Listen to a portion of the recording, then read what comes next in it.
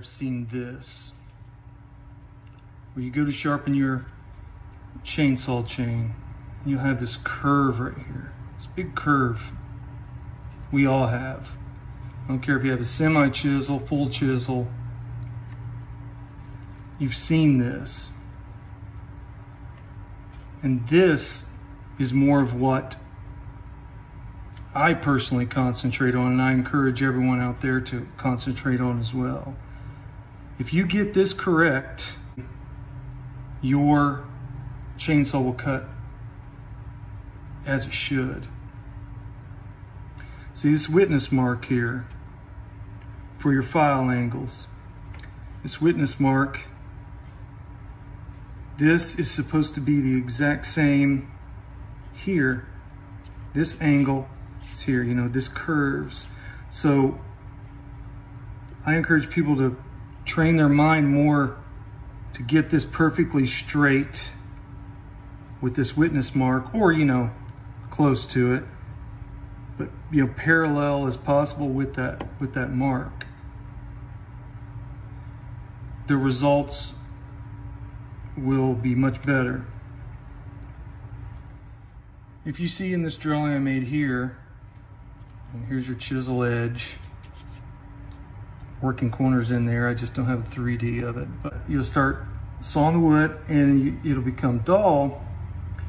And the first thing that goes is this, is a working corner in the chisel edge right here. And this will, this will be kind of what it starts looking like, see? It'll start curving downward like this. I don't think people talk about this enough. That's why I wanted to bring it up. Um, you know, you can have everything sharp and crisp underneath here, but if that top, that top plate doesn't meet right here perfectly at that perfect angle to be real crisp, then you're really not getting it sharp. That's the beginning of the end before you need to start sharpening again. So I encourage people to start concentrating more on that instead of the gullet and the rakers, you know, in the angles, you know, concentrate on this, start with that. I think people, what they do is they tend to,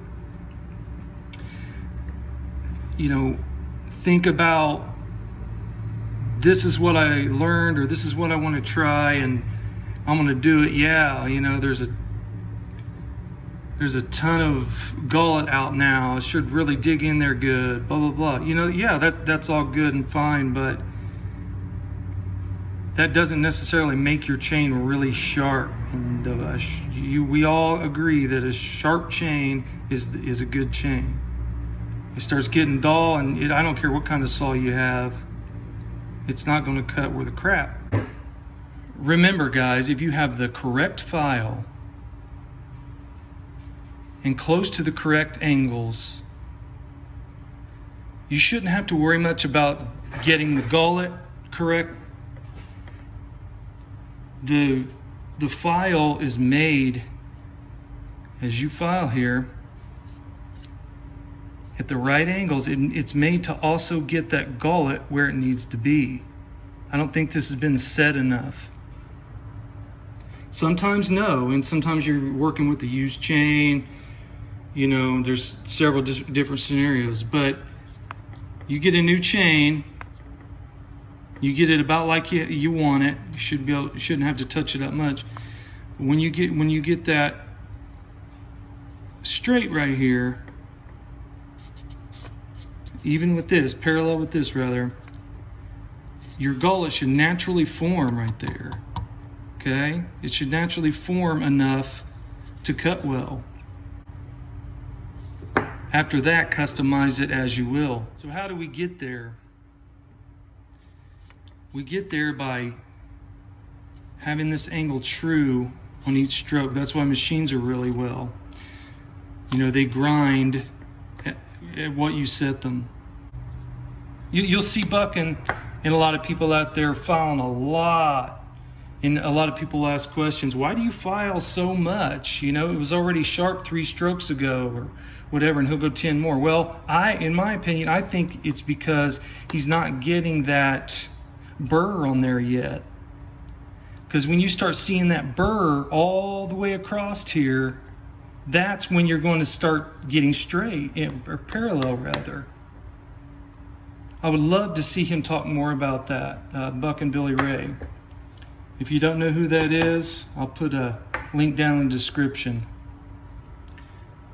But anyway, when you start filing here, you'll start, you know, until you start seeing that burr all the way across, you kind of can't stop. You, you need to get this line straight. A lot of people just sharpen it. And I think that your, your, the mindset should be a little bit different. You don't, don't try not to think about sharpening this. Try to think about getting this straight and the sharpness will come naturally, just like the gullet will come naturally. Another thing people will do is use the wrong file. This happens all the time. I've done it a million times. Okay, and this is what happens. So, you know, naturally you want to file the tooth. And if you have a slightly smaller file, this gullet will start not only working itself back like this, It'll also start working itself down like this. You'll see this so many times.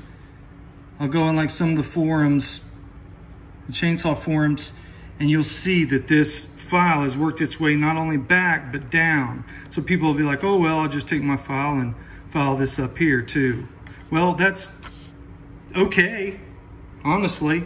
If you can, if you can accomplish that, you probably need a, a tool uh, the two-in-one files, if you're a beginner, I strongly encourage those. It'll teach you how to file as well. And it'll, you don't have to really worry about the rakers in an additional step. It'll, it'll get this raker or whatever you want to call this. I call it a raker. Uh, it will give you that uh, raker height consistent with, to all the other uh, teeth, or rakers rather. So if you're a beginner, two-in-one Stihl, it's, it's a nice little tool to begin with until you can hone your skills with hand filing. One more thing on file size.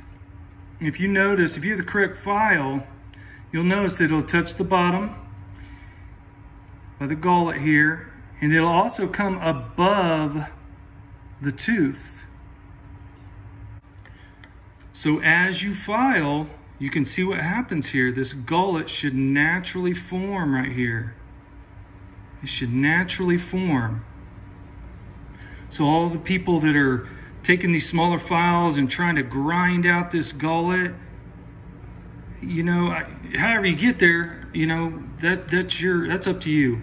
But a file, and again, this is just round filing, but this file should naturally form that gullet and do everything all in one step other than your rakers. So a recap on this view. Keep filing to this witness mark until this rounded chisel edge becomes completely parallel with this witness mark.